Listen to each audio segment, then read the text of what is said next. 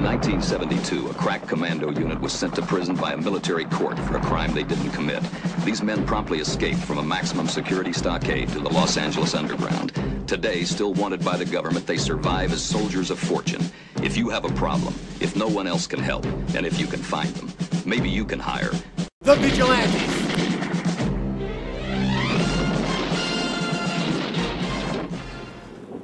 All right.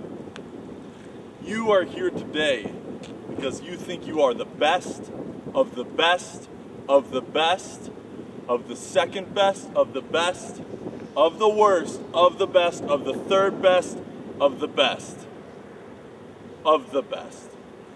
You think you can be vigilantes.